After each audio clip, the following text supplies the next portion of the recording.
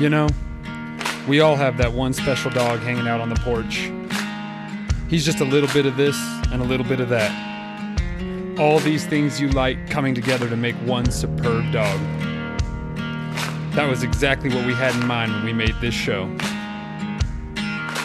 Welcome to All Mixed Up.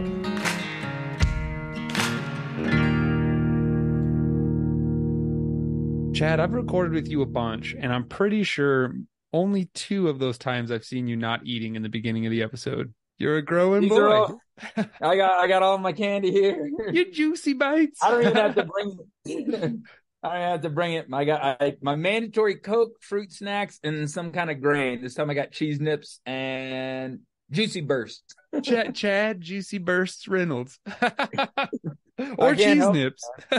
Yeah, there you go. There hey you go. man, how you doing, buddy? It's been it's been a month. Oh, been busy trying to get everything situated.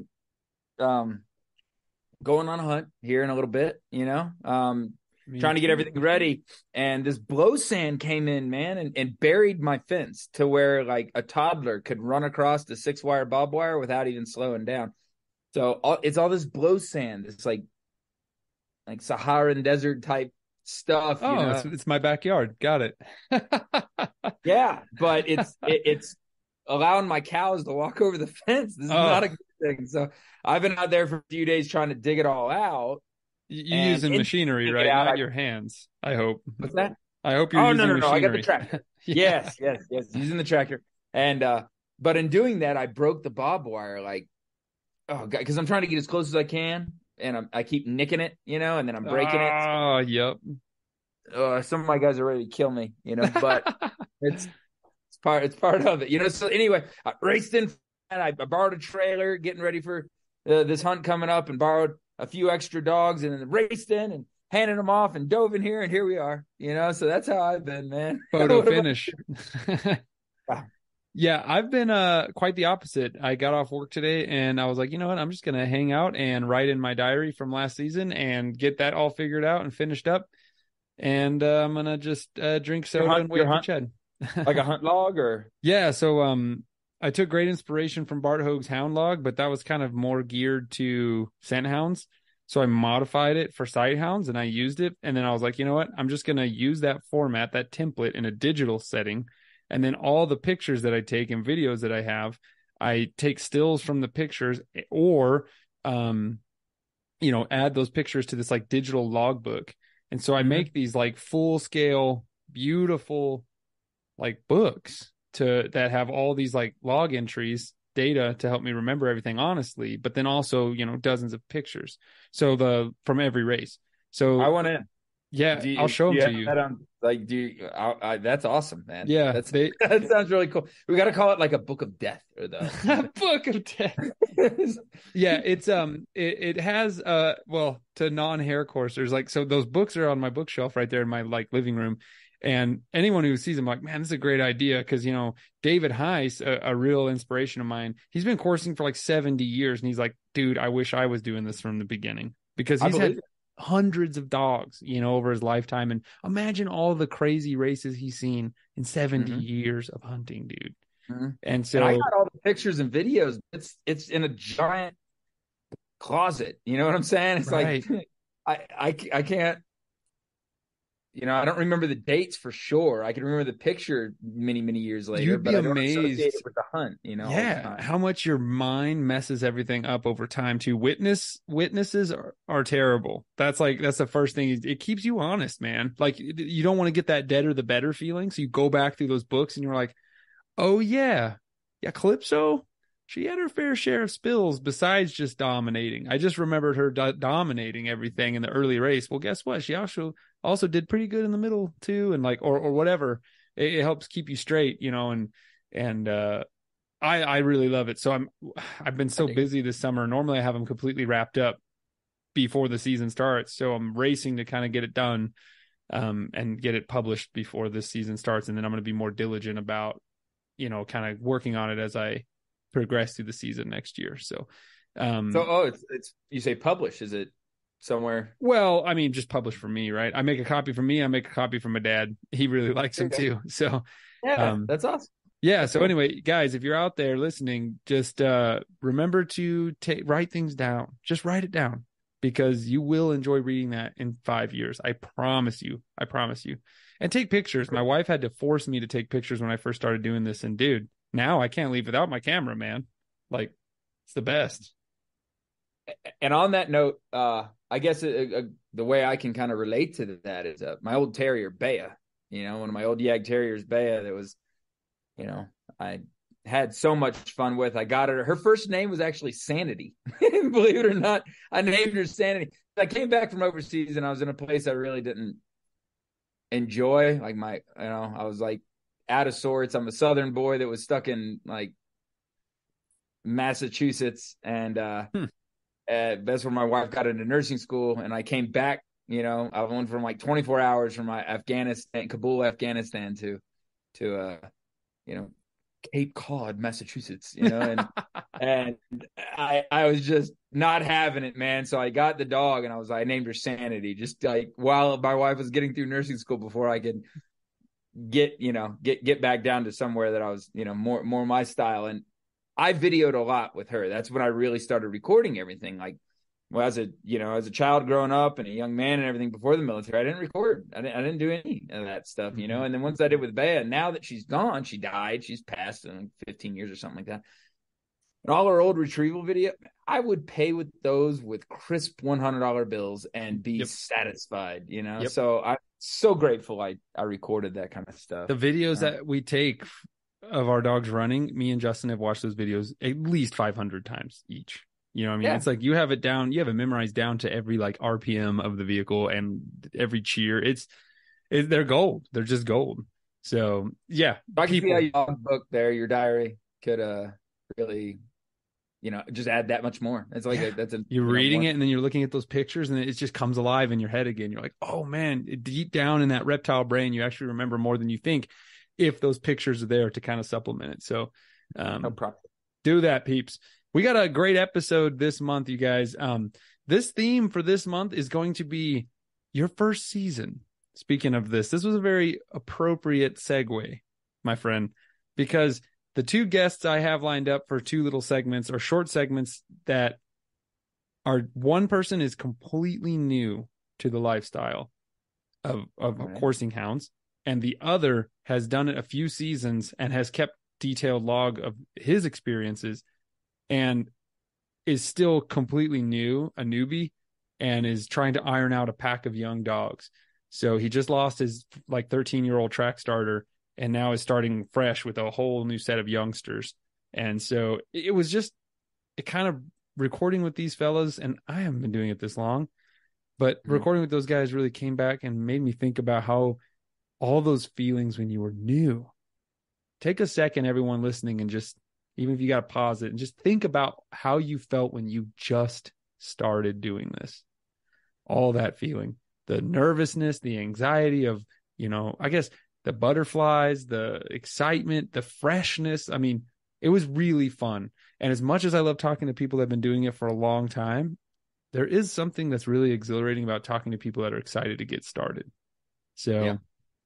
We got to the, enjoy those two segments, you guys. But we also, as always, with all mixed up, have our own segments. And uh, you know, um, I got a good one for Keeper Call this month. I, am just gonna say it right now. I was uh, I was cracking up when I read it, so I'm gonna all bring right. it to the people. But I'm gonna ask you right off the bat, Chad. Do you remember what you felt like when you were first starting? Let's pick because you do everything, man. I I'm gonna read in your obituary that you were hunting like earthworms with like chihuahuas or something. But what do you remember what you first felt like when you started pig hunting with dogs? When you were just getting going, what did what how what was it like? And what's changed since then? The only thing that would be kind of hard for me is because I started in and out of it at, at a younger age, you know. Um, so it was kind of always there, to be honest. You know, I don't I don't really remember starting starting, you know. Um, it was kind of always just a part of it dogs you know and then animal training and then my dad was out of hunting for a long time and then kind of got back into it you know and that's what got me started a little bit. Um it was super exciting. I liked the dogs. I wanted to be their buddies more than anything you know i was just happy to be out there doing something. And as the, the excitement kind of came a little bit later as you know the, the thrill of the chase and the, and the hunt and you know like the energy and all that you know pursuing game with dogs kind of took hold a little bit later but in the beginning i was just happy to be out in the woods with my buddies you know? Yeah. um we could have had fun in a mud hole and i wouldn't have known better you know? But uh but then new venues came on so i'm very familiar with what you're saying you know? Like like pig hunting specifically has kind of always been there you know? But then getting into you know uh, falconry or bird dogs ah, or the yes. hounds the tree hounds you know? Like all of those are just various forms of i don't know like almost like an addiction to be honest you know like it's so powerful it's overwhelming in the beginning you know that it's hard to think about anything else and you're just starving for every little scrap of data you can find on the subject and like it's almost you kind of like start to make up your own mind about things you know like, the arc is there you know it's always the arc I, gosh i you know it, time and time and time again and come, coming from a guy who's done quite a lot of venues more than i probably should you know like I've seen myself do it so many times, but now if you were to like, hey man, I uh, like we're gonna pay you to get into sled dogs, I'd be like, all right, Chad, just shut up. you know a dang thing. Just shut up and learn for the first like two or three years because it's not until then that you really know anything. You know, like in in in my I opinion. agree. Yeah, and a good mentor will just change everything for you because i was mm-hmm. already kind of making up my mind i walked into coursing completely ignorant and uh, i didn't even know there was a community in this world that did it still mm-hmm. and mm-hmm. when i met justin it just catapulted me forward in a way that was very helpful because I mean, he was like, "No, that's stupid. Don't do that." And he's so nice. You know what I mean? He'd be like, "Well, if you want to try, you can, but I don't recommend it." Are you trying to reinvent the wheel? Yeah, and and he was like, "You know, man, why do we do that?" I know, I know, and and and I've gotten to the point. I know it's you don't want to be like, oh, just the status quo forever, but at the same time, it's like, especially something like coursing, it's been going around for ten thousand years at least. I yeah. think we kind of figured out after ten thousand years. You know what I mean? So, um, yeah, I guess that's what I was getting when you when you first started falconry. Like take falconry, that's such a niche thing that is so unknown. You know what I mean? That's a lizard with feathers, and you that thing could just leave you. I mean, what, oh, when yeah. you when you first started, do, do you what was your biggest fears? Uh, the the, the bird leaving, you know, just flying off without yeah. anything, and it happened. It really? happened. I got it back. I got it back. Yeah, it was like because there's always this big push, and it's a weird thing in the falconry that they want. Ideally, you want your bird as fat as they can be and still and still hunt. So like eh, so everything's the number. Oh, your bird's twelve hundred grams. Oh, well, mine's twelve forty five. You know, like oh yeah, well, mine's thirteen. So everybody walks around like they're, you know, number hunters. You know, with the weight of the bird, and it doesn't really matter. You know, like how you perform, the health of the bird. You know, performance of the bird. That's that's what matters. You know, so going into it, I just wanted the fattest bird, the biggest bird, you know, because that's what everybody else was like hanging their hat on before I knew that that didn't mean anything, you know.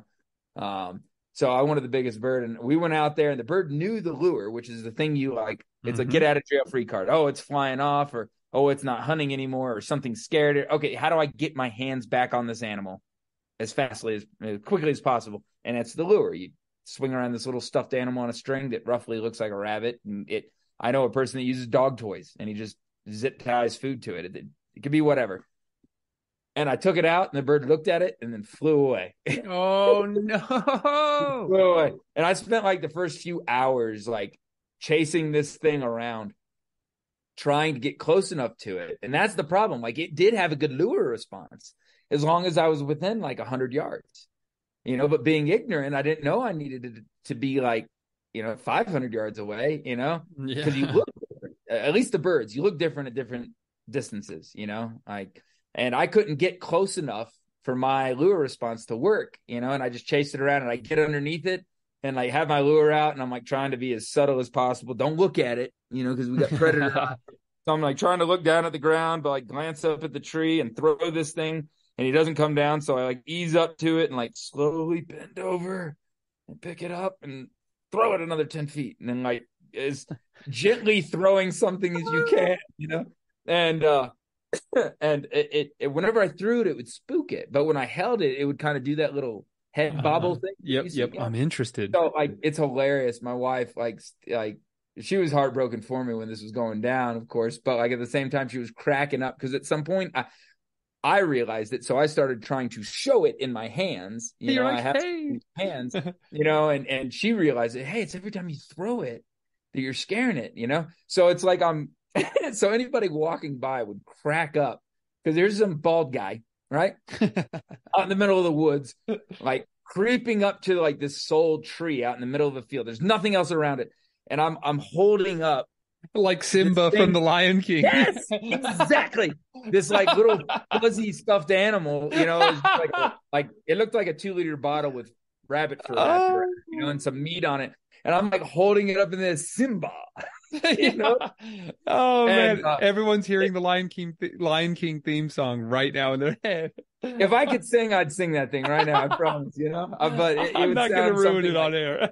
yeah, no, it sounds something roughly like cats mating, like underwater. It, it'd be bad.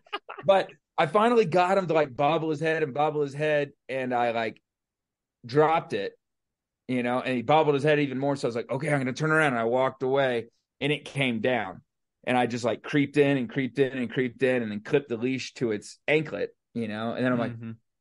oh, I just laid there. I didn't even move. I just laid there with my head in the mud and let him eat. Like, I got you. You can't get away from me. And then we lowered the weight and everything was fine. But man, that was that was horrible. This is dumb, but you lower their weight so that they're hungry to have an incentive to return to you, right? That's right. It's all okay. about numbers with them. Like you'll find a window, and everyone's like, "Oh, you starve it?" No, no, no, no just like I said, that that like where I would throw something at it and it didn't want to come down and eat, and it, or it flew away. A, a starving bird, let's say it's sick and I didn't notice it. You know, a starving bird acts the same way. So a fat bird that's too fat to want to hunt is afraid of you and non-responsive to the lure, and a starving bird, you know, that for whatever reason, some health issue or it spent the night out and you couldn't get the food into it, so not on purpose is what I'm getting at and uh, those birds won't come down either. Sometimes they're just they're non-responsive, and I guess that's nature's way of like save your energy, don't chase anything fun, you know, like wait for an easy ah. kill, you know. Yeah. So fat bird's like, nah, I don't want to risk getting hurt. I might not be able to catch that. I'm fat right now, so I'll just wait for something easy. Then as the weight lowers, they get into the window where they're like, yeah, I'm going to kill anything I can chase right now. And then as they proceed past that, now they're getting into starving, hungry then they're like, wait, wait, wait, you only have so many calories left. Don't yep. burn it. That's preservation. Too fast. Yep. That's too fast. We're waiting for like a buck-toothed mouse with a broken leg to come crawl. You know, I'm just gonna fall on top of it. Stand here. I'm waiting for those hares too. You know what I'm saying? yeah.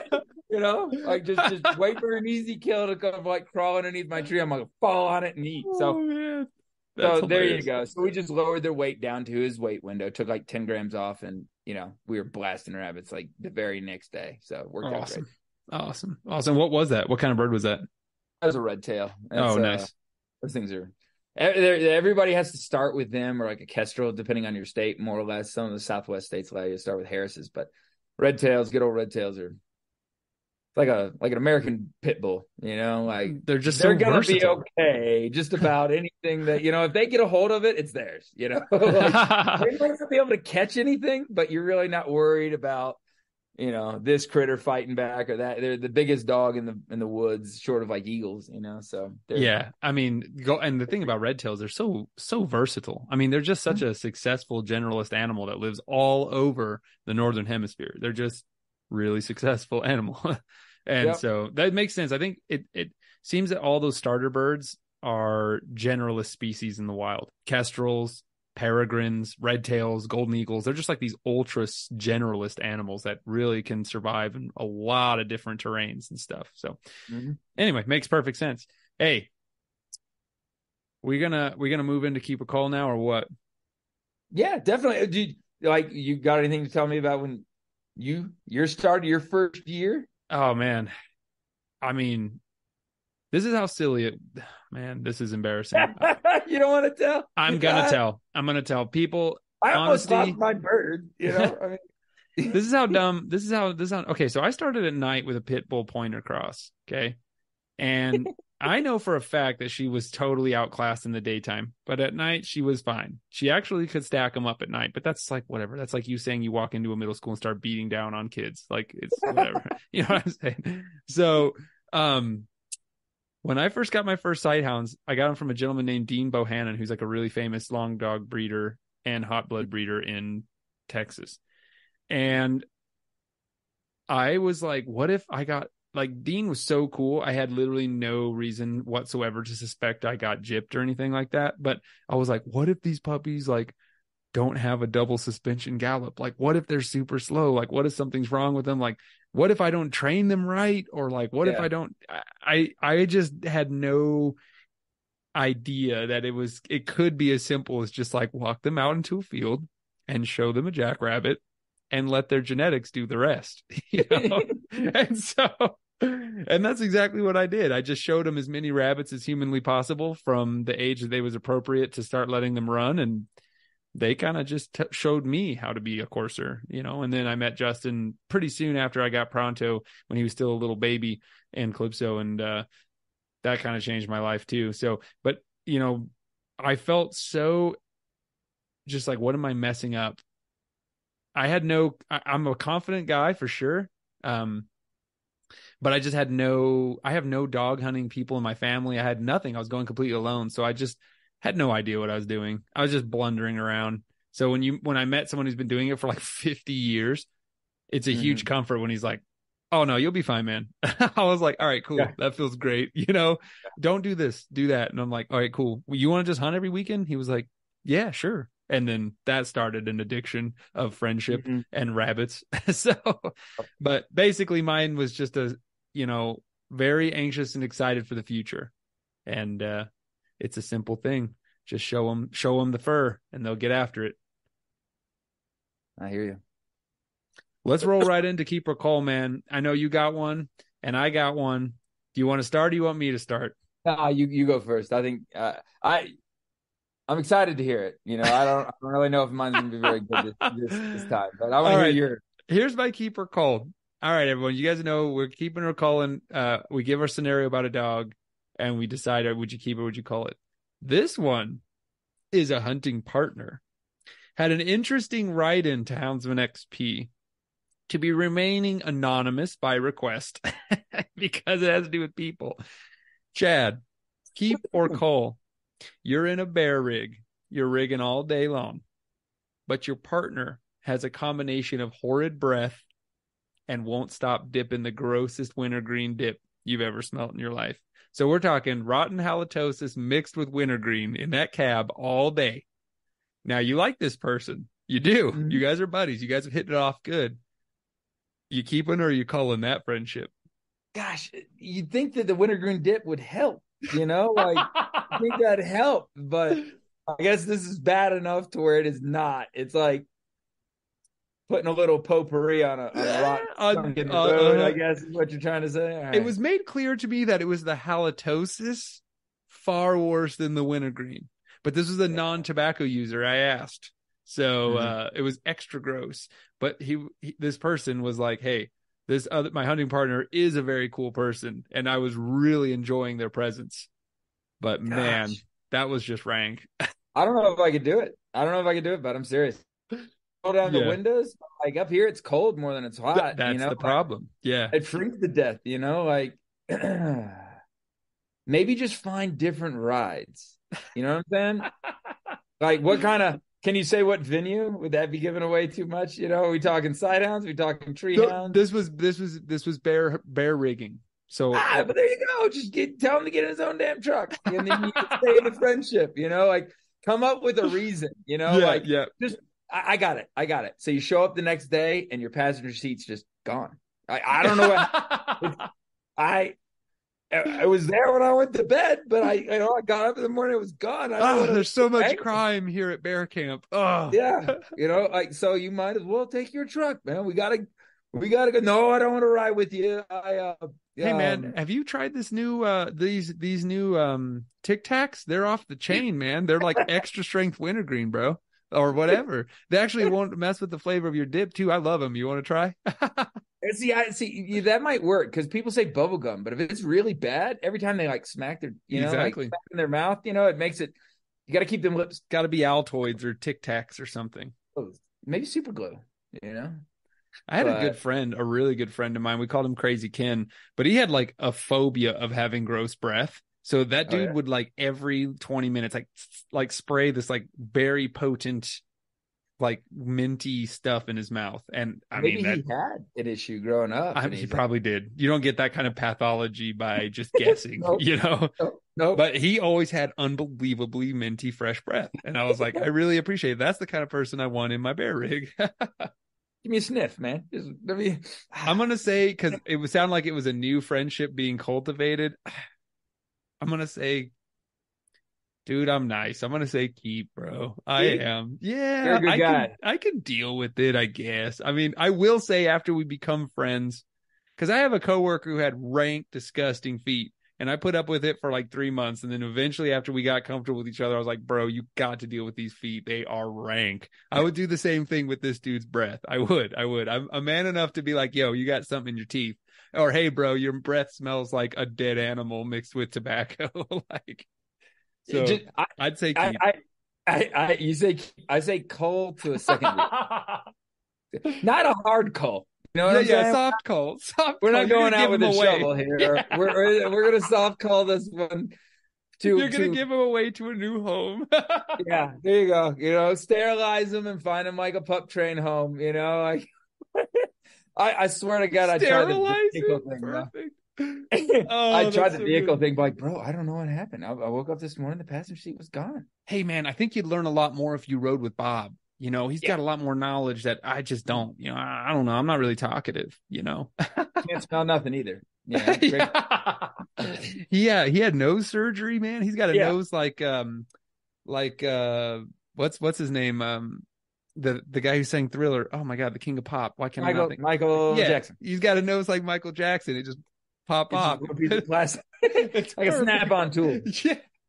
So anyway, I I say I say a um a man up and keep until unless the friendship doesn't cultivate out, and then it's a hard call. We're gonna get the Then a hard call. Yeah, Fair enough. Fair you're enough. doing a soft call.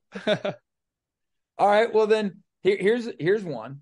Uh, it's kind of I'll go with your your human keeper call. So I had I've had a lot of folks, you know, because I use like weird dogs to do different stuff, like having the drots with the with the big game hounds and stuff. I, I get a lot of folks that are like, "Hey, can I come and bring this?" And I'm always like, you know, like just because I do it with mine doesn't mean it's going to work for everybody. So I've always been really shy, and not meaning that I'm better. It's just that I've worked towards that goal, and a lot of other people work towards a different goal, and then it, it may not work out the same way, you know. Right. And and, and that'll kind of lead into what my my few rules, hard rules for my dogs are. You need to come when I call you. You need to shut up when I tell you. No dog fighting and don't crap in the dog box. Or, you know, crap accordingly. You know, like we don't want a water bucket issue. We don't want another dog box. We- the water bucket. you know, Defecate it appropriately, please. Thank you. appropriate defecation. Yes, those are those are my four. I'm gonna my get that sign made for your kennels, by the way. appropriate defecation is required. Only, yeah. Uh, so this guy that I really like had a great following with this particular venue, and I'm gonna I'm gonna stay out of what breed this is, you know.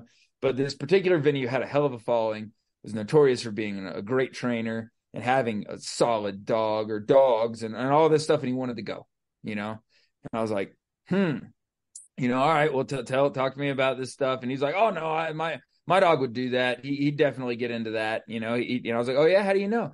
He's like, well, I went out doing this before with another guy, and you know, their dogs were treeing, and my dog went up there and just whooped every dog off the tree, you know. And then, oh, none of those dogs would even would even come next to the tree, you know. Like he claimed that tree. To, I'm like, Ugh, uh, you know, like supposedly it jumped, and the dog jumped on it and like tore a bunch of hair out, you know, like it pulled hair going to the next tree and treed well. So I mean, supposedly this dog treed well and everything, but like the the brag here was that he whooped the other dogs off the tree, and I was like, how could did you did you think about that one before amateur you hour. I'm not even you a know tree dog before guy. you told me that one? hour. You know, like did you really? because I mean, the, the, the fellas should have enough dog knowledge to know that like we don't want that to happen. You know, that's a nightmare. You know, Ugh. like a bunch, a bunch of hard charging tree hounds like just ripping into each other like at the.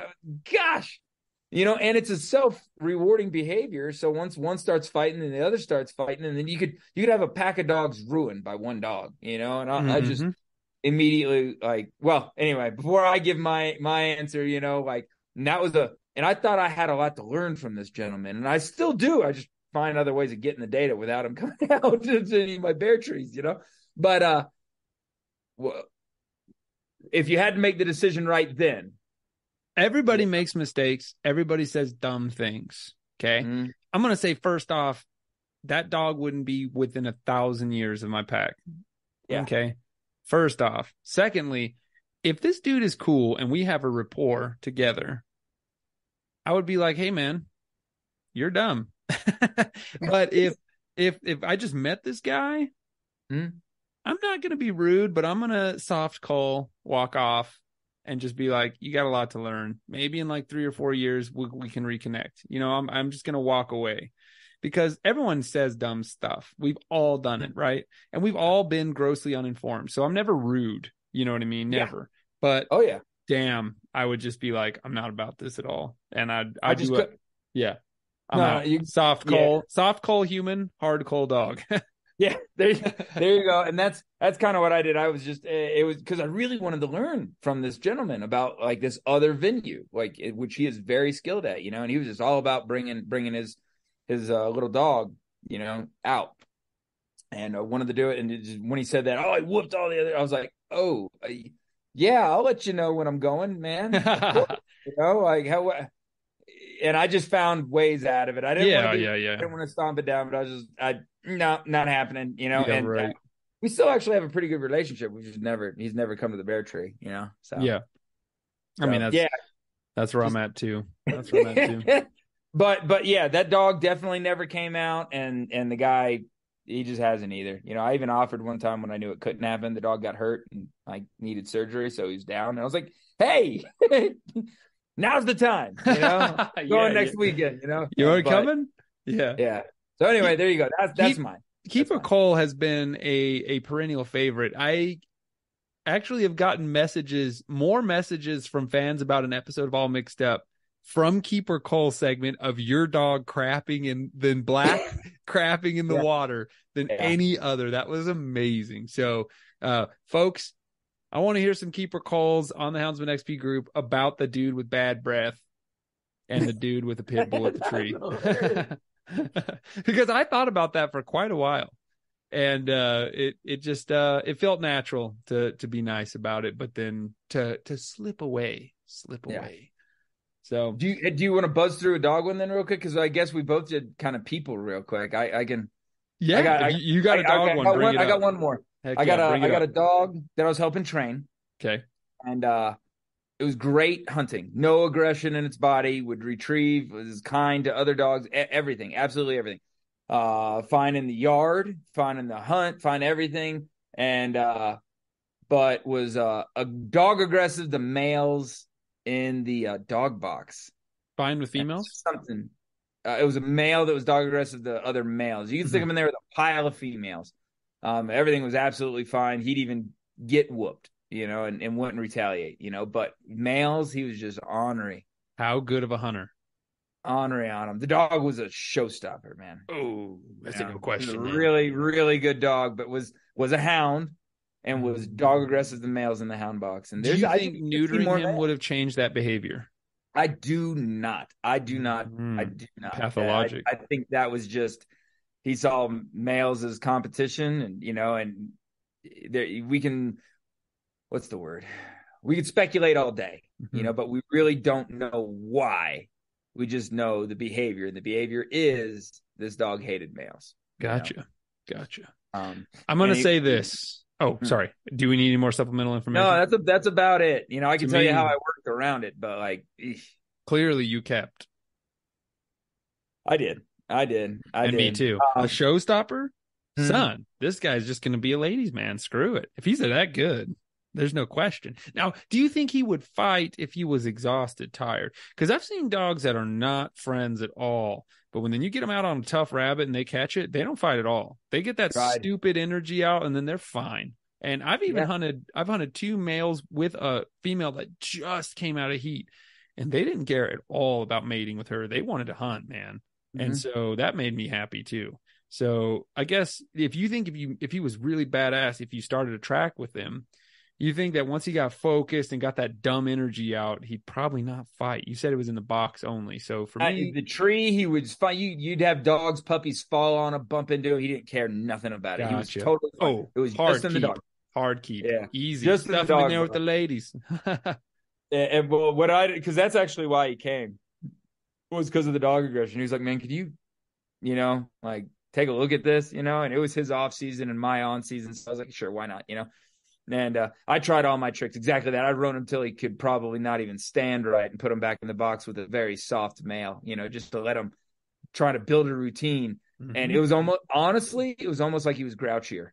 It was almost like, like, get away from me. Because then he was like intolerant, you know, whereas the anticipation of the hunt almost like might have helped, maybe, you know. Mm-hmm. But then after he ran, he just was intolerant of everything. Don't don't eat. You're breathing on me. I'm gonna fight you. You know. So uh, what ended up happening is uh the guy just rigged him every time. You know, like even in even in lines when he wasn't playing in the rig, he put him it. up front. Yeah. And then when it was super cold, he put him in the passenger seat with him. I was gonna say, uh, yep. Yeah. Yeah. So but he was his track starter. That's that's what it was. So so there you go. I kept. I even told him I'd keep him. I was like, man, this is an amazing dog. You need to. You just need to deal with this. You know. Even my my new box that I made now has like a big bay with two back sides, but I have a single up in front. What's this Just, dog's name?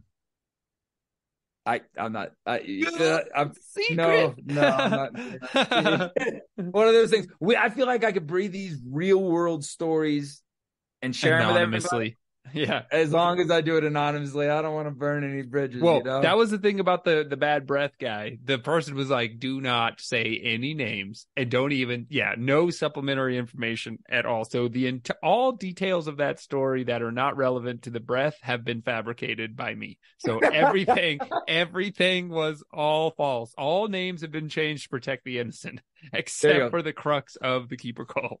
So. Uh-huh. All right, man. There you go. I don't got a dog one. I just when I read that one, I was like, "That's all I got. This is all Seth Hall needs." Oh, that's awesome. That's awesome.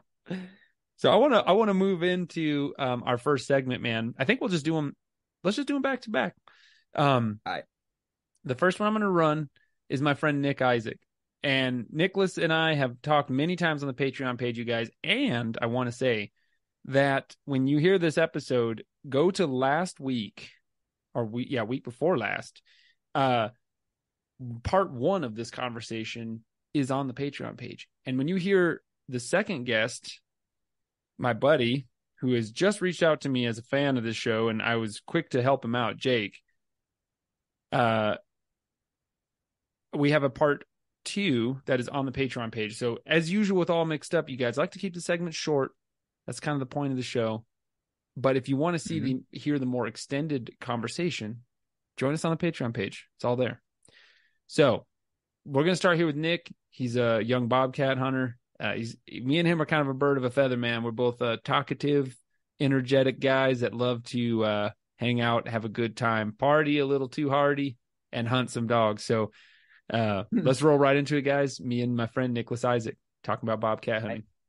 All right, man. So I want to hear what are your goals for this upcoming season? We've we've covered quite a bit, and uh, if you want to hear the beginning part of this talk again, go check it out on Patreon, you guys. It's there. Nick, what do you got going on this season? What are your goals? Well, it's a great question. Um, I mean, my overall goal is to catch bobcats. Um, How? with my dogs. my so really this year, you know, I'm down. I don't have whiskey anymore, so I am down a finished dog, which I guess I didn't really have her last year either. Um, but yeah, I'm I'm uh I'm just really flying with unproven bobcat dogs. Um, my most promising prospect is Rue. and he's about three and a half years old. He's uh, you know, my walker out of my Mhm. mentor's dogs. Mhm. And um yeah, last year I really worked with him a lot on uh like rigging. So striking from the from the truck. Right. Um and I worked with him and Cooley on loading up, you know, loading up on top of the rig box uh on command so I don't have to get out of the truck. Mm. Um so basically I just I pretty much free I I rig I drive tons of roads and I rig, but I kind of free cast them. So I don't chain my dogs up on the dog box. I've just had a couple too many bad experiences with them flying off and oh, yeah. hanging themselves by the neck. I get why people do it. It just sketches me out. And I don't know, I have a good enough handle on my dogs that it's just like I know they're capable of just riding up there safely without a chain on the, you know, Yep. attached to them. So, um, yeah, I'm work. Rue is doing really good with all all those kind of handling skills, and then he also started striking cats from the truck last Nice. season. So that's the main focus is just really getting Rue rock solid, so that he can help my younger dogs, you know, Nice. get on bobcats. How, how many young dogs do you have coming up? I know I asked you this earlier, but I can't remember. So I got three, one, one and four. You know, they're a year and four months old. Youngsters, indeed. Yeah, yeah. I got them on, I got them on, you know, handful of cats last year. Um, and yeah, but I mean, they're still super green. We're gonna have to do a lot of trash breaking. That'd be another, that's a, that's another goal is to get those three dogs fully broke. hmm Um, I had one opportunity. So last, it was either last week or the week before, I just went out and roaded the dogs, uh, before the season actually started. And Tika took off on a deer race. Like, you know, she ran it like almost a mile. Um, but it was, it was good, productive trash breaking. And she was, she was the only one who took that track. So, um, Would you know it was a deer? You saw the hooves, or did you see the deer? I saw the hooves, I saw the tracks, and I also saw the deer. No. I So, didn't. yeah. I, I I managed to cut. I managed to cut her off, uh, and I watched the the deer. Well, it was actually two deer, um, run across the road in front of me. So Oh my god, were you livid? Yeah. no, not really. I mean, it's part of it. I was I was I was so excited that Rue. I was so excited that everyone else came back. yeah, yeah, like- true. Rue came because they all took off with her, and then within about five seconds, Rue and Cooley came back to the road, and then that by that by that time, I got my alpha out and you know was able to tone them, uh, and so then Clover and Bruno, well, I guess Clover went with her for a while. Bruno came back, and so that was pretty awesome. That he came awesome. back just with a tone. I didn't have to shock him at all. Nice. Um, but I lit Tika up. Yeah, she she got she got a big dosing of, yeah, yep. of juice. Of no deer. Um, what what command Yeah, do you use that- when you when you're trash breaking? What command do you use? Because in in British Columbia, Lloyd uses no deer. That's just his bad dog. No matter what they're doing bad, he says no deer, and it makes him work. It makes it it works. man, really, I, I I my theory, my philosophy on it is I'm going for like the they call extinction training, where they're just like just wiping out that behavior completely. So I don't I don't use any command. I just I don't even tone. I don't even give them like a warning tone. Well, I guess I kind of do. I don't know. It depends. If I know for a fact they are they just jumped a deer, I saw it happen. I'm not saying anything. I'm just hammering down on the stimulation. Yep. Um, until literally until they are back on the road. So however long that takes them to get back, it might hurt a little bit. But gotcha. um, Can't be yeah, having these no blue deer. dogs, yeah, these these blue dogs are quite a bit more difficult to break than Rue. huh? I, I don't know what, the, but Rue is also he's a more he's kind of a more sensitive dog too. Uh, Like he is, he does not like getting in trouble. You know, like he he wants to be a very good boy. And Yeah. I got three like, of those. I got one stubborn one, Yeah. and I got three that are very well behaved. Nice. But yeah, catching bobcats, get you know roost striking, you know, and everything, and You got a young that like pack too. You got your work ahead of you. Not only are you young into this, but you got to start a whole young set of dogs, man. You got a tall oh, order Oh, yeah. ahead of you. Yeah, I know. The the thing is, and I've thought about this a lot. Like I I have a dog hoarding problem. Like I can't get rid of dogs. So Like, I that's why just- you're sitting in your truck right now. yeah, yeah, exactly. Um but I also just like going out into the woods with my dogs. I like that is what completely just going road just roading them. Like that is 100% fulfilling to me. So everything else beyond that, catching game is a bonus. You know what I mean? yeah. I think I don't know. That mentality I feel like holds me back because I'm not very like competitive, like results driven. Like I'm not very I don't know, it's weird. I just love being out there with them. And I like my happy place is sitting here in my truck just putting down the road with all my dogs running in like the Mighty Ducks formation ahead of me. Yeah. It's so sick. I mean, I, I oh get what you're saying, and and that's, I mean, that's why we all do it. We love the dogs. You know what I mean? If I, I tell everyone, if I just wanted to kill stuff, I would just buy a bunch of chickens and wring their necks. You know, I it's Yeah. it's so much more than that. And and although I will say, I really love catching a hare. but Of course. yeah, yeah. But I know what you're saying, and I agree with your sentiment. Goals this year: get your pack, get your young dog, get your young, old dogs, quote unquote, going, yeah. and get your pups Yeah. online. Yes, sir. Yep. Nice, nice, nice. Yep.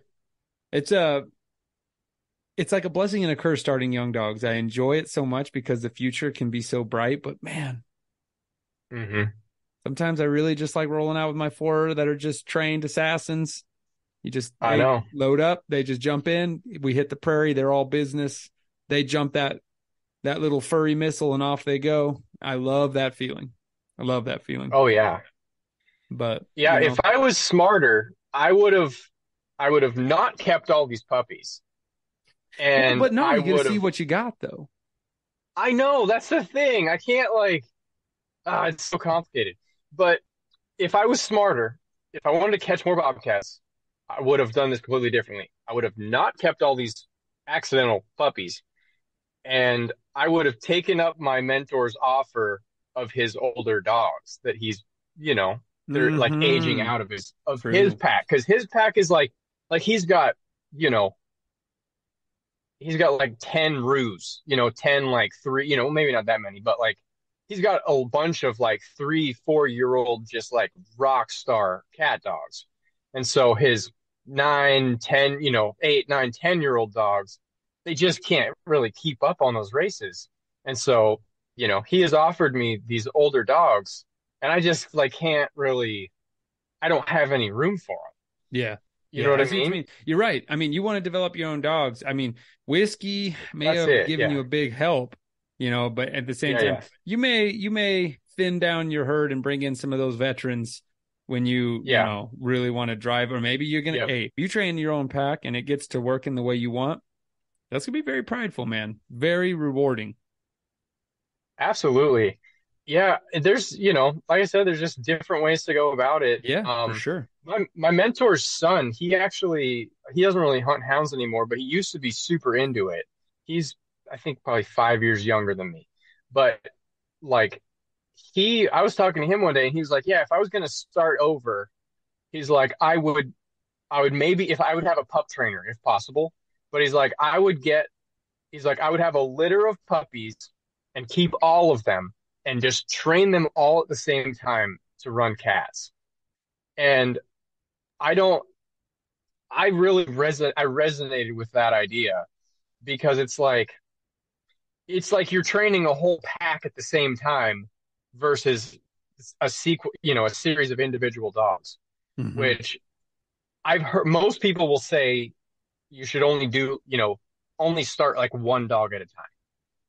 Um, but I've actually heard from like a lot of fox hunters that they will keep a lot more dogs. They'll they'll keep the whole litter. and just run them because they're running 20, 20 dogs Yeah, at a time anyway. packs, So it's yeah. like, hmm you know, yeah, I don't know. You, I mean, like I said, you you took the hard way, no doubt. So I'm really curious. Oh this, yeah, this episode has you're you're no you're uh you're definitely into this a lot longer than our you know our other guest for this episode, but I still am really excited Mm. because maybe we'll have a Cat Dogs Chronicles two and three that we'll get to read about your progress. Because yeah, you got a you got a door that is to be opened, and it's gonna be a tough one. so I'm yeah, really, yeah. I'm really looking forward to uh, hearing about your progress. And if you're catching cats, call me. We'll uh, we'll go make a big jamboree out of it. I know Charlie wants me to come back up there, and it'd be fun to get the beagles out and uh, tree a, a little spotted Oregonian forest kitty. Oh hell yeah, man! Yeah, we got to make it happen.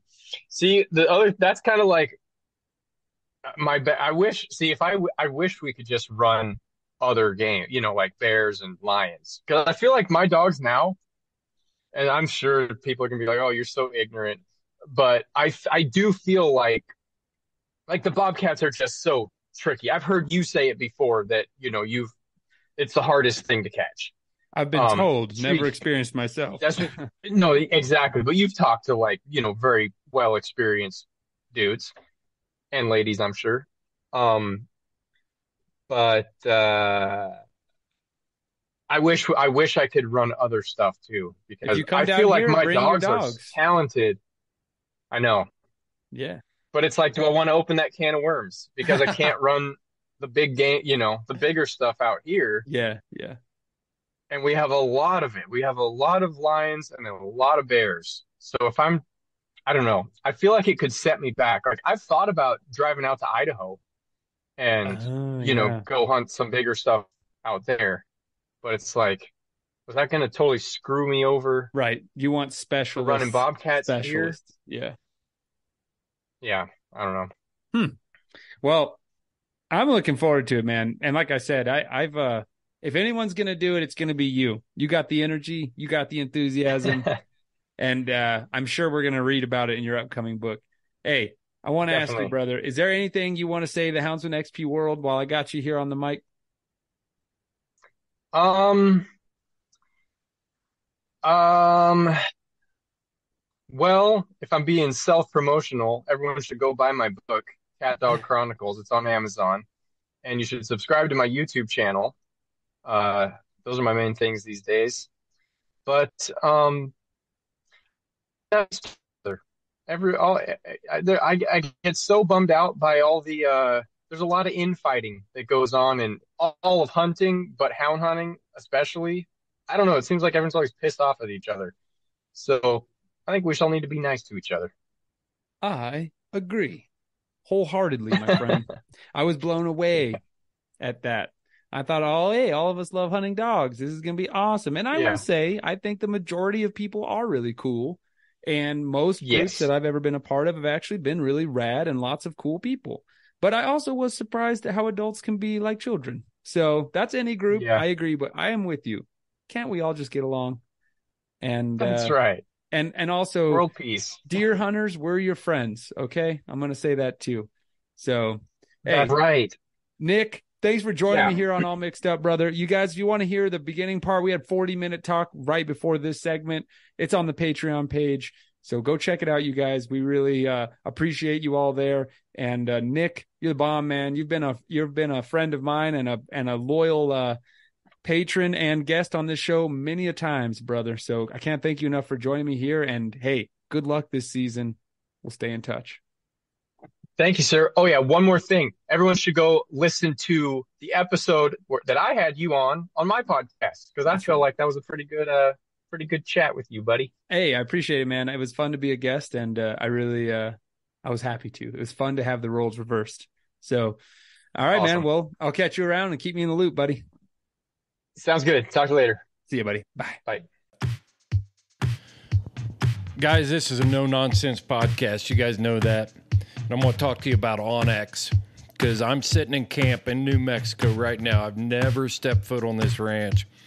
And I've used onX so many times in the last three days. with their high definition maps, I can see mesas, I can see grasslands, I can see the canyons. I know where the critters ought to be living, and onX helps me find those spots and get to those spots. And it totally augments my tracking equipment. I could buy a map card for New Mexico, but this year alone, I've hunted Louisiana, Indiana, Kentucky, uh, New Mexico. Uh, I didn't hunt in Colorado, but I was there. Montana, I've been in Montana. So you do the math on the map card, and when you buy onX at their elite price for around 100 bucks a year, I get all of these maps that are right on my phone, extremely clear. Landowners are marked, state lands are marked. It's all right there. Check out onX at onxmaps.com and get with it, man. And at checkout, enter the promo code HXP20 and you will get 20% off of your onX subscription. Know where you stand with onX. That's a cool guy, man. I really enjoy him. He's uh he's just a he's a kook. So when I when I uh recorded the second half with him, he actually had to mm-hmm. be in his truck. Or when this time when I recorded with him, he was in his truck because he had two bitches in heat and a kennel full of males. And he lives in the city. Oh, so all his dogs are indoors right now to avoid the howling and the debauchery. oh so, gosh, that's rough. Yeah, I man, I I I had one I had two hounds when I had a tiny yard. I'm talking tiny yard, like 40 yards by 20 yards and that felt like it was too much for me. Now that I got this five acre pen for them, I don't really care. But man, if you had a tiny yard, it would be tough to be a houndsman in the city. So kudos to all you guys that just make it work. I have a lot of respect for that. Mm-hmm. I had a an intact male Belgian Malinois and two intact female Jagd Terriers at one point when I was living in the apartment. Would they try and, to mate? Uh, oh, they tried all the time. Yeah, and uh, it, it he chewed on the wildest things because he tried to be a good boy. He he he would really try and be a good boy, but it would like bubble out in weird ways. Like he took paper out of the printer and shredded it into like as so many pieces as possible. Just shredded it, and uh, um, and th- this is the weirdest thing. So he shredded it in one spot, like in the middle of the living room, you know, and then there was like a grocery bag, you know, like it, this is like where we were living there. We actually had to pick up the poop. Oh god, it was horrible, you know, yeah, like with a bag, yeah. you know, like oh, immediately. Yep. so we had bags out there, and he went and got a bag and pulled it over by the paper he shredded, and then peed on the bag and pooped on the bag in the middle of the. So like I I don't speculate. Everyone's like, oh well, he needed to go. Hey, shut up. We don't know what the hell happened, you know. But like this dog was just coming apart at the seams this. And yeah. it caused him to shred a bunch of printer paper and then pull a bag over and then pee and poop in the house on the bag. You know, now it missed, you know, but you yeah, tell, like, yeah. He was trying to mark it, you yep, know. Yep. So, I, you know, I got, yeah, I got a male that I got a male that he goes insane when there's any kind of stimuli outside of the pen. So like if someone's walking a dog down the road that's like 50 yards from the edge of my pen, he'll just start shredding brush. He does never yeah. bites the other dogs. He doesn't attack anyone. Sometimes he'll kind of like roar, roar, like just kind of bark it, it around, but he's never laid teeth on anyone. But he will run mm. up to a bush and just start destroying it, like shredding it. And I'm like, that's fine. Man. You take out your frustration on that bush. I don't care. So like along my fence row where they always stop to bark, all the brush is just chewed down. It looks like grazing animals have mowed it down. Yeah. So yeah. it makes me laugh because sometimes he'll bite into like a creosote bush and they taste horrible. And he'll be like, like spitting shark it out. Too, huh? No, aren't no, no. Mesquites are mesquites. Okay. He doesn't bite a mesquite bush. That's the only thing he won't bite. So, but it just makes me laugh. So, I uh you know, keeping with the theme of fresh starts, it does not get any more fresh. And this is kind of what we were talking about in the beginning of the episode. Jake reached out to me and he just was like, Hey, I live in I live here in Texas. I just moved here and I'm pretty sure where I live is great running dog country. And I was thinking if it would be a good idea to get into it.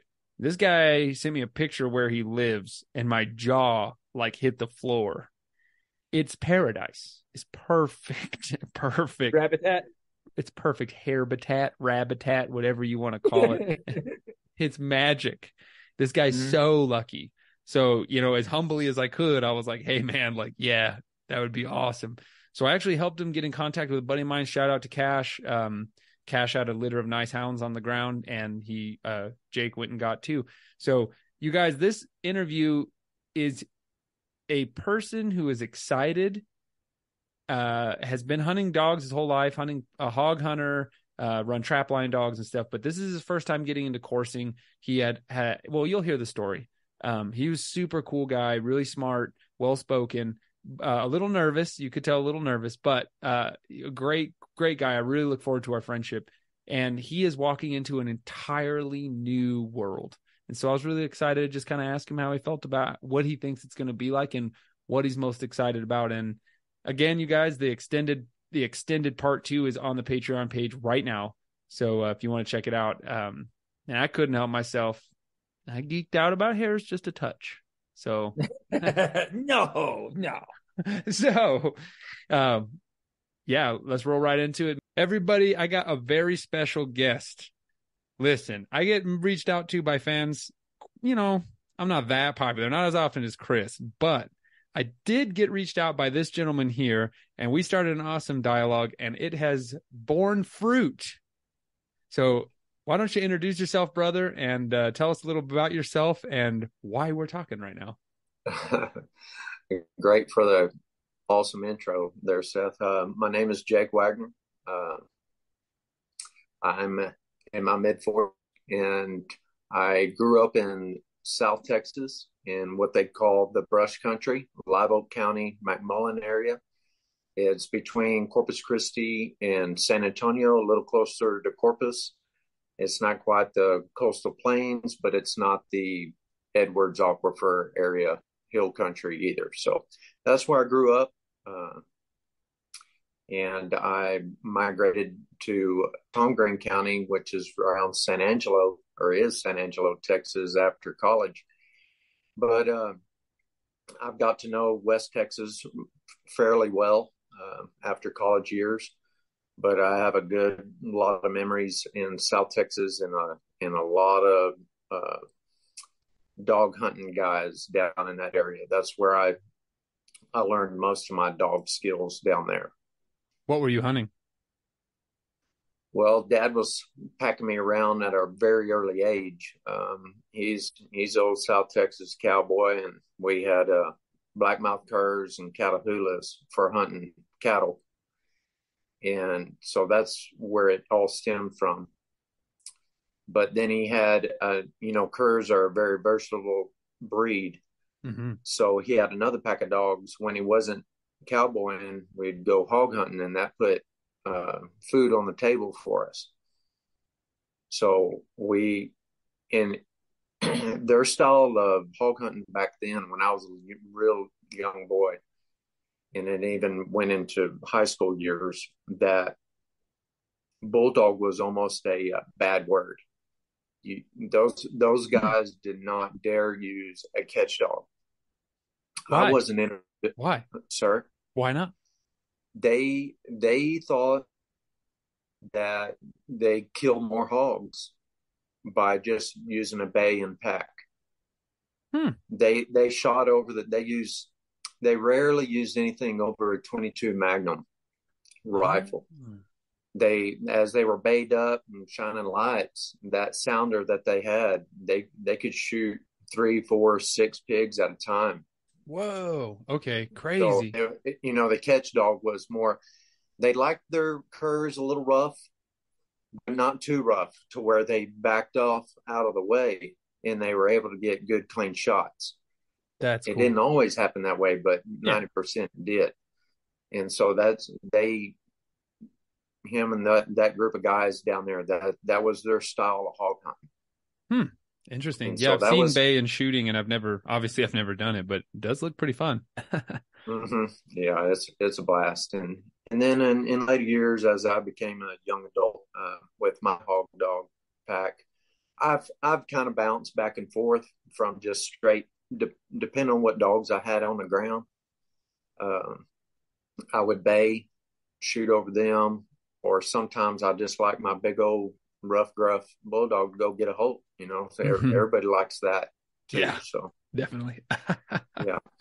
And then, uh, but before, kind of in the middle of that, I, you know, saw the the movie uh, where the red fern grows, you know, and read the book and fell in love with that, and and so I had a magazine, the the Coon Hunter magazine, back in the day before computers.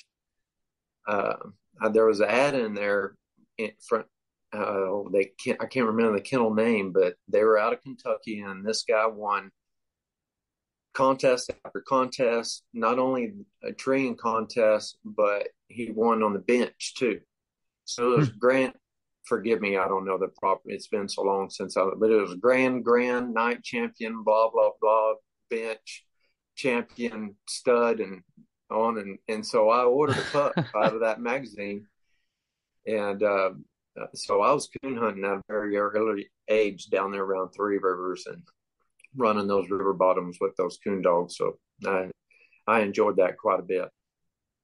What did you love about it?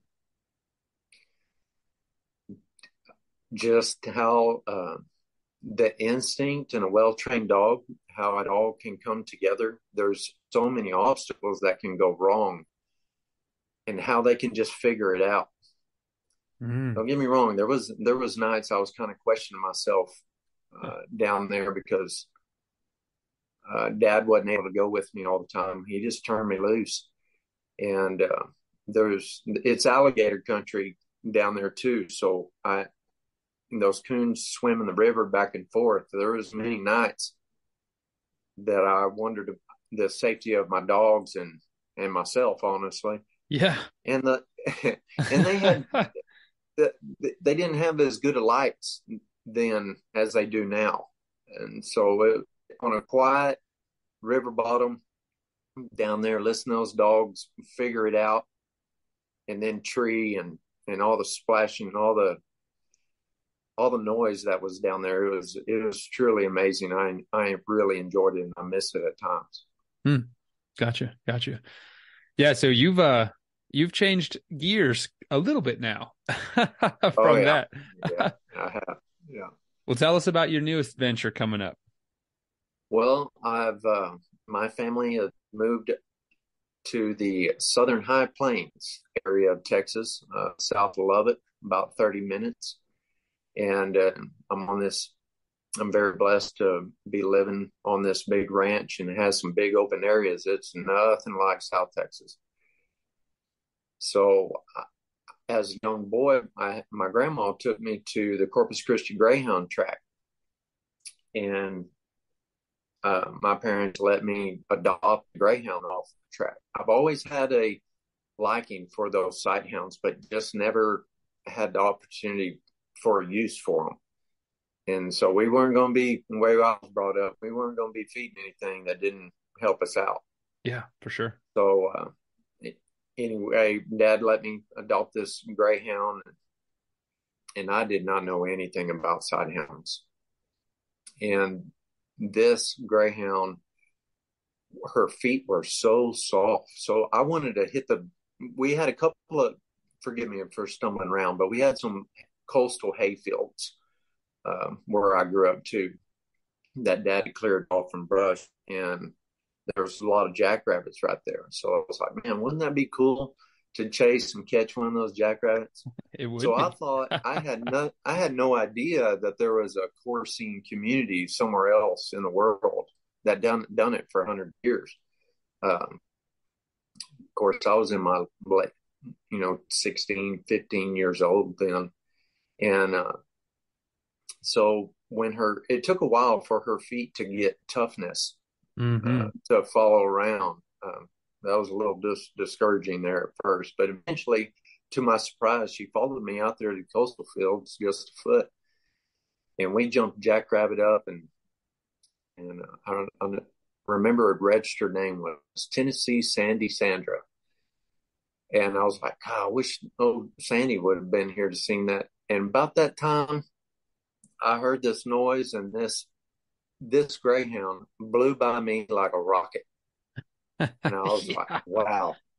It was game on after that. Of course, I was just hunting with one dog. And of the thousand jackrabbits we jumped up, you know now, now and I know now that it, it's almost impossible for one dog like that to catch it. Yeah, it's tough.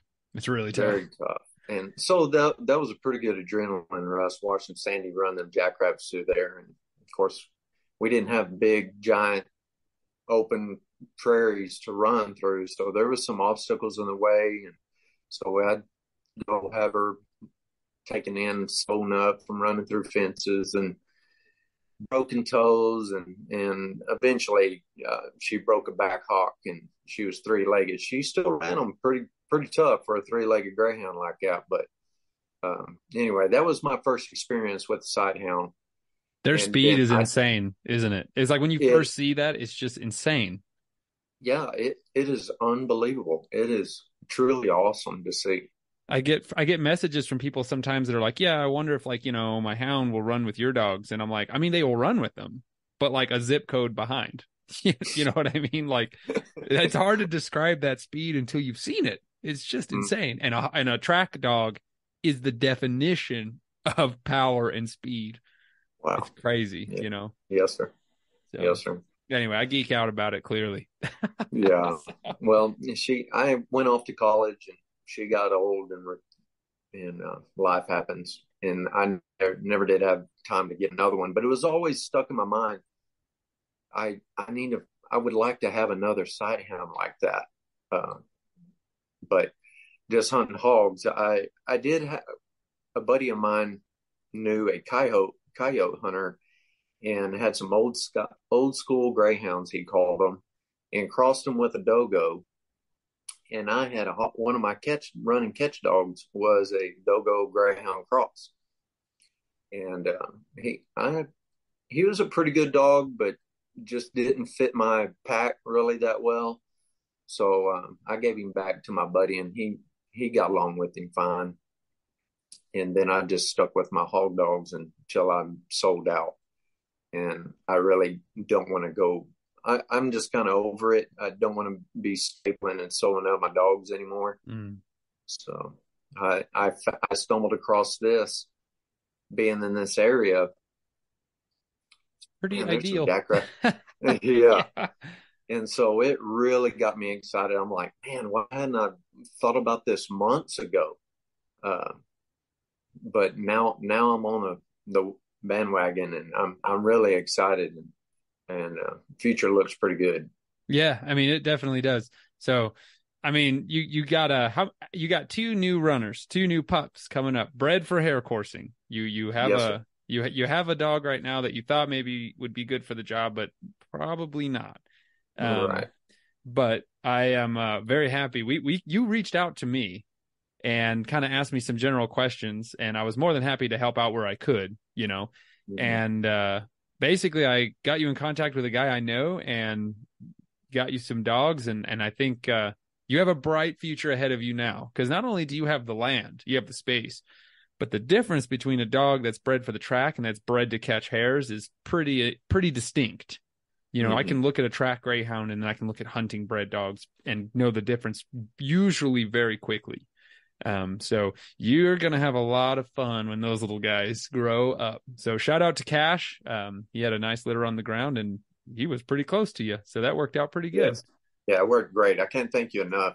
Um, I had that lurcher, and she just turned a year old, and with my other old catch dog that I've been trapping coyotes, and he's he's kind of an all around dog, and I'm so glad that I uh, stumbled across you, and you've been guiding me in the right direction.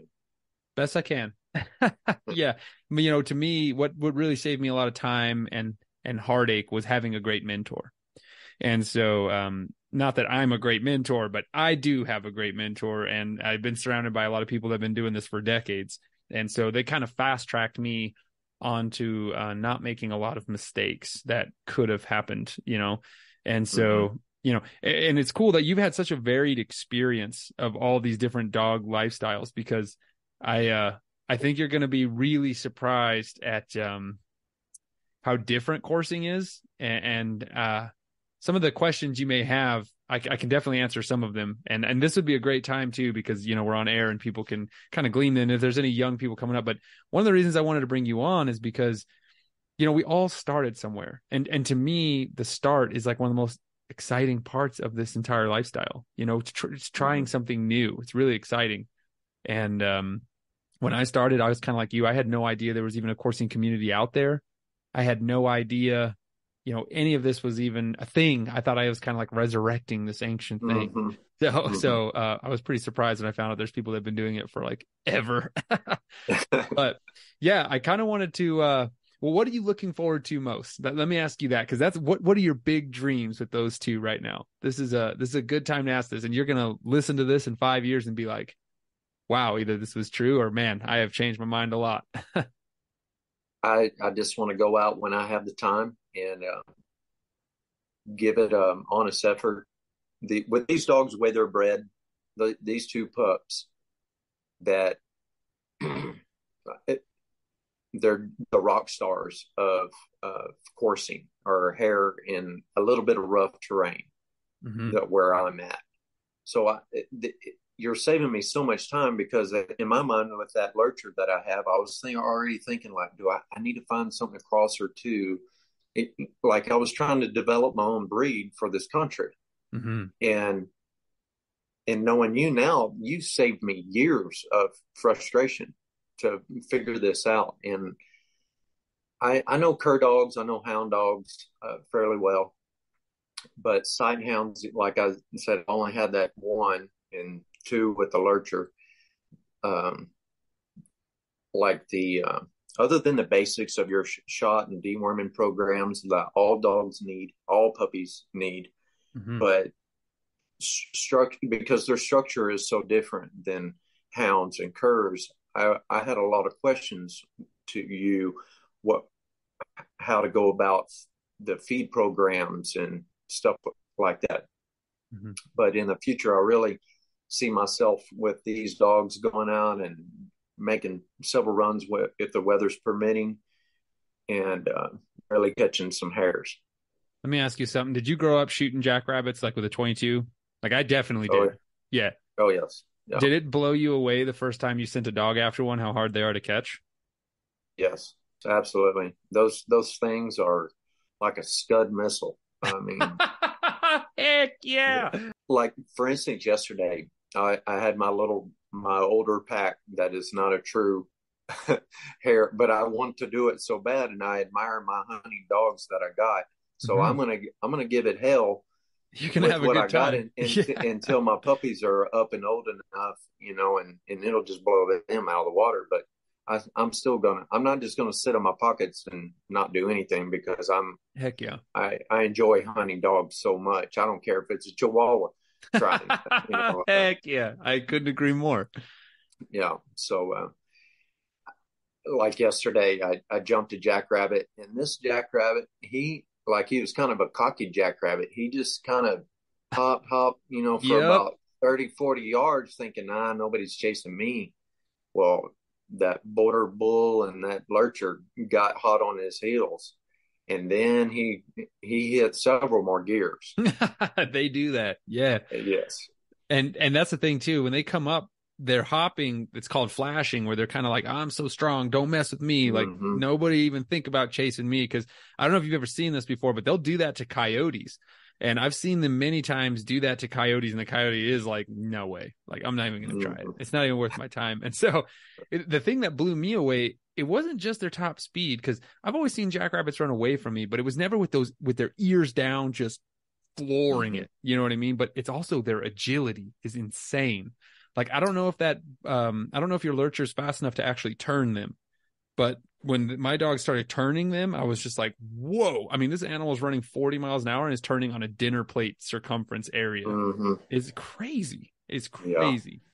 Man, when you start catching them, you're gonna be elated. Like because when you first start, you know, there's that, that there's that kind of evolution of all hunting, right? And I know you've been through with every species you've gone after, but for me, they are so difficult to actually catch that the first time you catch one, you're gonna be like insane. You're gonna just be elated because it's it's they're just really hard to catch. Yeah. I remember mine, they jump them, they were little babies, and I didn't really know any better.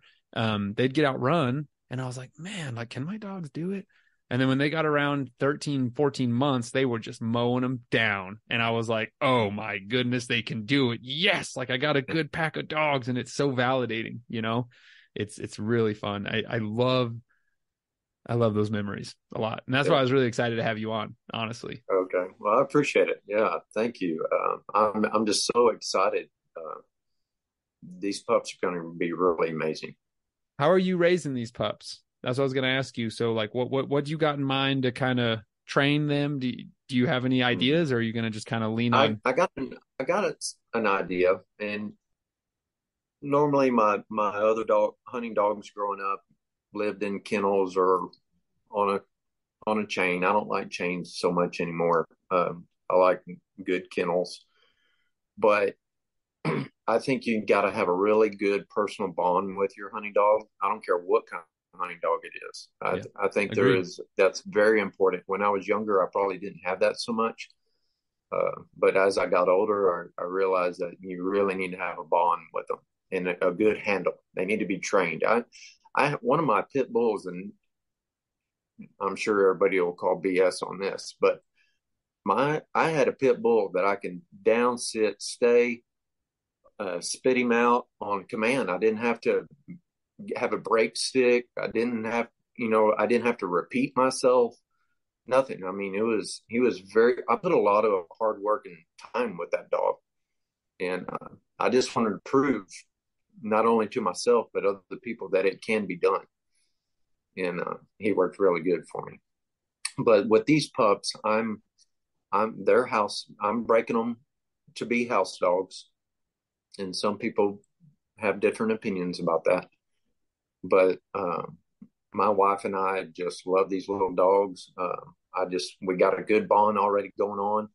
Um, I'm gonna have them heel and sit and stay, mm-hmm, and mm-hmm, and uh, at the proper time. They're too, to me, you, you can put too much pressure on, on a little pup. Oh, totally um, agree. Yeah, so I let them I'm be just, puppies for a while. Honestly. Yeah, I'm gonna let them. I'm gonna let them grow up with my past experience. Just let them be puppies for a little while, and then later on, adolescent time, it's it's business.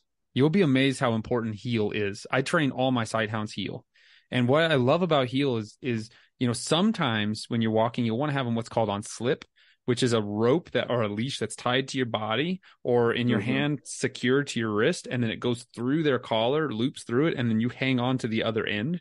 So that when you see a hare, you just let go of the rope, and since it's fastened to you, they take off, right? Oh, okay. And yeah. so uh, that way, if you're hunting in an area with like lots of coyotes or antelope or deer, that way you can keep them right here. You know what I mean? And yeah.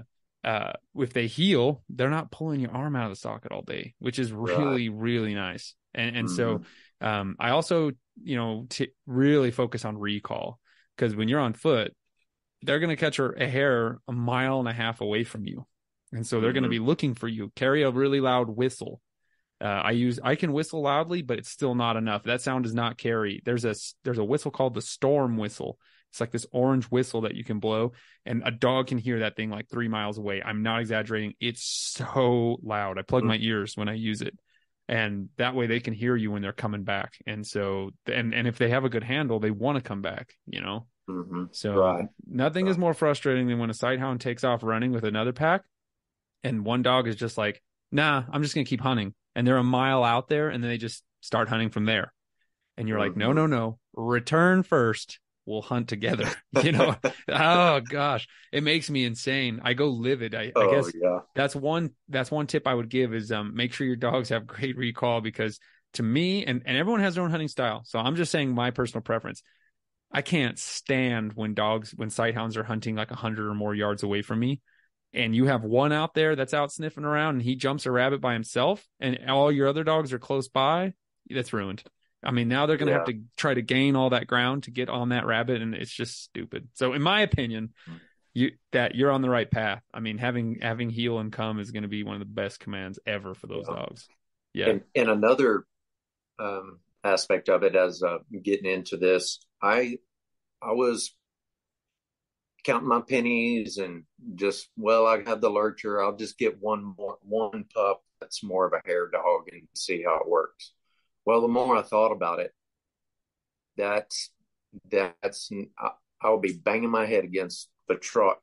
Why didn't I just go? There was a little litter there. They're proven good genetics. Yep. Why not get two? They get raised up the same. They have the same speed and agility, the same instinct, everything. Yeah, that that was a good call. That I, I, I'm really glad I took your advice on that, and it's it's working really good so far. How many times do you hound doggers catch yourself thinking about an awesome hunt you had or retelling this great story with family and friends around the dinner table, and all you have to remember that moment is some terrible cell phone picture, or worse, no picture at all? Well, Houndsman XP is partnered with Rough Cut Company to help solve your problem and make beautiful pieces of art to remember for all time your experiences in the field.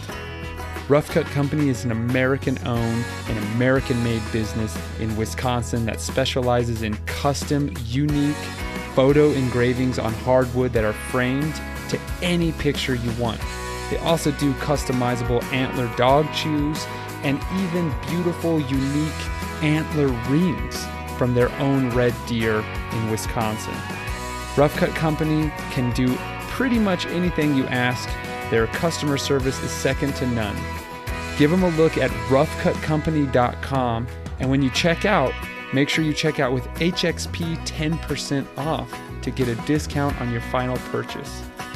Check them out, you guys, and support people that support houndsmen and help keep us in the field and remembering those times forever. I just wanted to give a quick thanks shout out to to all these people that help, you know, uh A are my friends and B just kind of are are open to talk about these experiences. So Yeah. You know, I it was so awesome talking to him because it was like me being in a time portal going back and and and listening to myself kind of in a lot of ways minus all his experience beforehand. So and when he talked about his hot blood just running out on those coastal fields of south texas he was like i just was blown away at how fast those dogs are. And i just remember the first time i saw a sighthound excuse me really open up. It's just insane. And so it was really exciting. So anyway. he sounds like he's gonna have Yes, he is. I uh shamelessly was like, bro, we gotta run. so, there was no there wasn't even a hesitation from my um uh solicitation, if you will. yeah. So anyway, Chad, I kind of hogged the mic for this episode. Brother, you got anything else to say?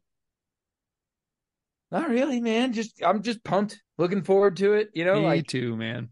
Everything's everything's going. Uh, like I said, I got my got my my little trip, um, my little bird hunting trip coming up, and then after that, uh, uh, you know, duck season should be right around the corner, and then and then bear season opens back up for a little while, and we're gonna pour into lions and bears, you know, uh, not bears, but pour into lions, you know, and nice. I might, and, and of course, you know, uh, as soon as it's cool enough, I'll be running rabbits more, you know. Yeah, so that's great. I think I might skip falconry this year, man, and just focus on. I, I, got a lot of new dogs. I got a lot of new dogs this year. I got my two Salukis that I want them to get started right, you know, and I could start them with a with a hawk or a falcon, and that's what I wanted to do, and still want to do, but I think getting them started the right way and then mm-hmm. polishing up Jolene, the Cockers.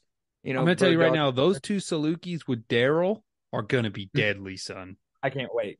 I can't wait. Those well, I, that crew is together. gonna mow yeah. you down some rabbits. I am pumped for you, and I'm gonna come up there and watch, man. Because mm-hmm. I'm telling you right now, two speed, one Saluki, or two Saluki, one speed.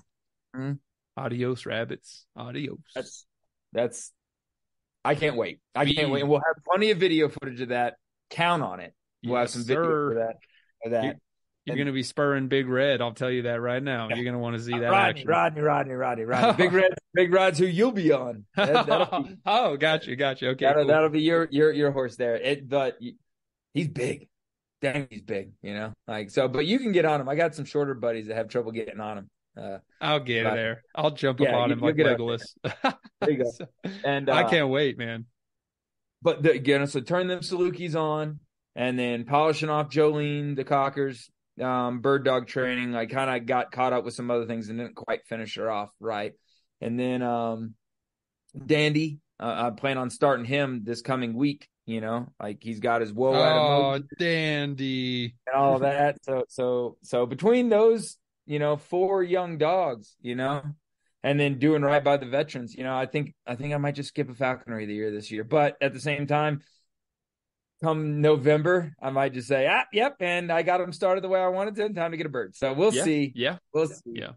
Regardless, I can't wait. We got all. I'm secretly excited to um, have you run those dogs without the bird because you'll get to see what they're really made of. And I swear by that all the time. I'm kind of taking my own medicine now because a lot of people say like, "Oh, what do what do I do? I want to do falconry." I, you know, and I find out what they want to hunt, what they have. You know, what you want to hunt doesn't matter. What do you have? Yeah. you know. Yeah. And then how can a dog help that out? Because it does. It it improves everyone's falconry. It doesn't matter basically what you're doing. There's Sure. a few things, but just about every form of falconry can be improved with a dog.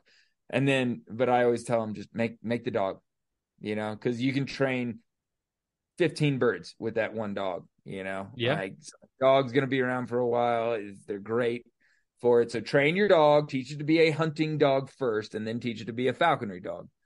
And that's not the only way to do it. I've done the other, but that's definitely, in my opinion, the the way you get a just a well-rounded dog. You know, um, so this will this this will be me taking my own stinking medicine and making the Salukis and Daryl coursing dogs first, and then you know learning how to be a part of a falconry dog team as well. So Dude, and uh, if you have the space without the rocks, you toss that hot blood into the mix. Oh, Oh, yikes. yeah, yeah. well, that's a that's a conversation. We're gonna go too deep down that hare hole. So we're gonna instead we'll call it with that for me blabbing about your dream team here because you got an exciting young crew coming up that's gonna serve you very well. So I'm very pumped. Bring them down here.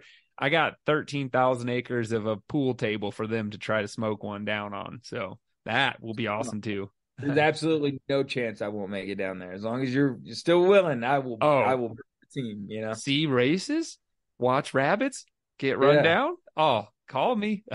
I'm in. So, Good. hey, brother, that's all I got, man. This has been a, a great month. And hey, we got a good month coming up, you guys, next. We got a, well, should we let the cat out of the bag yet? Or should we Sure. keep it a surprise? We got a You can, you can put a teaser. You can put a teaser out there. How about that? we got a Hogapalooza next month. This month was me. Next month is Chad. So Mhm. if you guys like Chad's um soothing baritone, I don't know. I don't, I don't, I don't know. There's some there's some squeaky wheel in there if, too. if you like know? Chad's uh cats mating underwater voice, then you're gonna enjoy next month. Chad, thank you so much, buddy, for joining me this month. no problem, bud. That was a blast. Let's hunt them hard and treat them like heroes. Mhm.